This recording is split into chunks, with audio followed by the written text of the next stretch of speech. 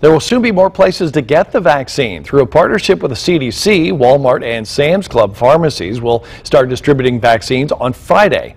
There are more than 30 locations for this in Indiana. Kroger and Meijer are opening vaccine clinics in Indiana, too, right now. Hoosier 65 and older can make vaccine appointments, but of course, yes, they need more vaccine to make this totally workable.